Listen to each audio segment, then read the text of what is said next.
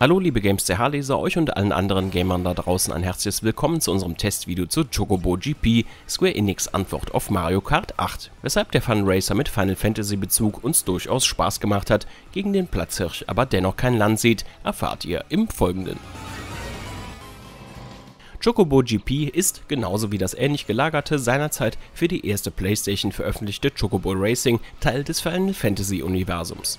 Anders als der Name des Spiels vermuten lässt, nimmt er natürlich nicht bloß mit den in Final Fantasy II eingeführten Vogelwesen an den Rennen teil. Stattdessen finden sich unter den insgesamt 23 Fahrern auch einige aus Final Fantasy oder der Chocobo-Serie bekannte Charaktere wie Gilgamesh, Irma oder Adalbert Steiner wieder. Mit ihnen nehmt ihr online oder lokal an Einzelrennen, Zeitfahr-Challenges oder Rennen teil oder stürzt euch in den Geschichte genannten Story-Modus. Das Spielprinzip erinnert dabei frappierend an das aus Mario Kart, denn ähnlich wie dort driftet ihr in Chocobo GP durch Kurven, sammelt Power-Ups ein, um auf den überwiegend sehr kompakten Rundenkursen am Ende nach Möglichkeit ganz oben auf dem Treppchen zu landen. Jeder Charakter besitzt individuelle Werte für das maximale Tempo, Bodenhaftung, Beschleunigung und Drifts. Letztere geben euch, wenn ihr sie ausreichend lang haltet, einen Boost, genauso wie das Ausführen von Tricks bei Sprüngen. Zudem ladet ihr in den Rennen Energie für eine Spezialfähigkeit, das sogenannte Maginit, auf, das ebenfalls bei jedem Charakter einzigartig ist. Gilgamesh macht dessen Schwerteiliger etwa kurzzeitig unverwundbar, zudem schleudert ihr dabei Schwerter um euch herum, mit denen ihr Gegner stoppen und damit zurückwerfen könnt. Von Ilfrids Feuerwehrwagen aus lasst ihr wiederum eine Flammenmauer los, die sich automatisch nach vorne auf dem Kurs ausbreitet. Der auf Rollschuhen fahrende Chocobo wird ebenfalls kurzzeitig schneller und unverwundbar, hinterlässt dabei aber auch Blumenringe auf der Strecke, die jeden leicht beschleunigen, der hindurchfährt.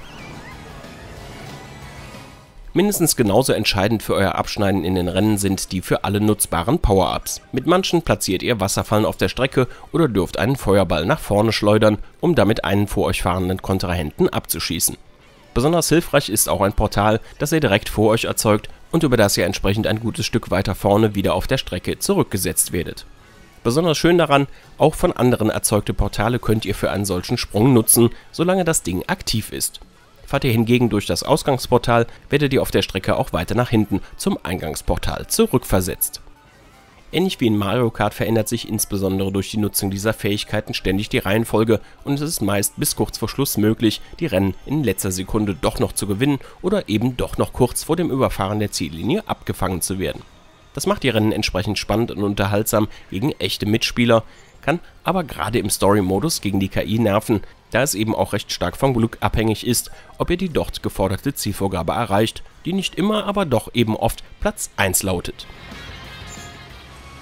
Deshalb würden wir euch auch empfehlen, anders als wir, nicht unbedingt damit zu starten oder euch zumindest nicht durchgehend daran festzubeißen. Denn Spaß hatten wir aufgrund des hohen Einflusses des Glücks auf das eigene Abschneiden im Story-Modus zeitweise wenig. Spielen müsst ihr den Story-Modus jedoch zwingend, denn so einige der spielbaren Charaktere könnt ihr nur dort überhaupt freischalten.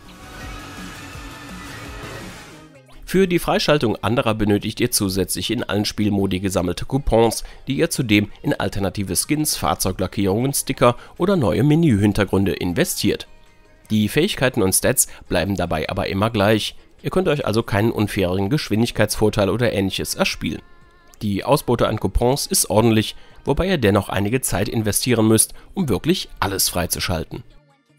Beschleunigen könnt ihr den Prozess durch Mikrotransaktionen, wobei wir über die Preise für die Mithril-Kristalle, die ihr auch auf den Strecken sammelt, um damit stufenweise Coupons zu erhalten, noch nichts sagen können. Unklar bleibt ferner, inwieweit sich unsere Testversion, die offenbar einer Art Premium-Fassung entspricht, von der ebenfalls zum Start verfügbaren Free-to-Play-Version unterscheidet. Aber immerhin habt ihr durch letztere die Möglichkeit, das Spiel selbst einmal auszuprobieren, um besser entscheiden zu können, ob Chocobo GP für euch eine brauchbare Alternative zu Mario Kart 8 ist oder eben nicht. Für uns ist es genau das allenfalls begrenzt. Wir mögen das Angebot an Fahrern, uns gefällt der visuelle Stil und sogar die dudelige Musik. In praktisch allen Bereichen aber muss Chocobo GP teils deutlich hinter Mario Kart 8 zurückstecken. Es gibt sozusagen nur zwei Geschwindigkeitsklassen, die sich Anfänger und Meister nennen, statt zig Kubikzentimeterklassen, wobei die Anfängerstufe uns deutlich zu langsam ist. Das Streckenangebot ist nicht ansatzweise so üppig und kreativ wie in Nintendos Vorzeige Fun Racer, woran auch die gespiegelten Varianten der Kurse nichts ändern.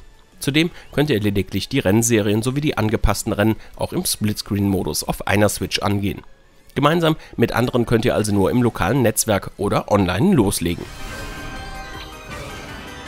Da vor dem Launch noch zu wenig Spieler aktiv waren, konnten wir etwa den Chocobo GP-Modus, in dem Turniere mit bis zu 64 Teilnehmern oder besser gesagt mit Achtel, Viertel und Halbfinale und Finale ausgetragen werden, noch nicht selbst ausprobieren. Gemeinsam mit bzw. gegeneinander wird Chocobo GP gewiss mehr Spaß machen als allein gegen die KI. Aber auch dann wird Chocobo GP kaum in der Lage sein, Mario Kart 8 den Rang abzulaufen. Für wen bald 8 Jahre nach dessen Ur-Release auf Wii U bzw. beinahe 5 Jahre nach dem Launch der Deluxe-Version für Switch langsam die Luft raus ist, der sollte Chocobo GP aber zumindest eine Chance geben.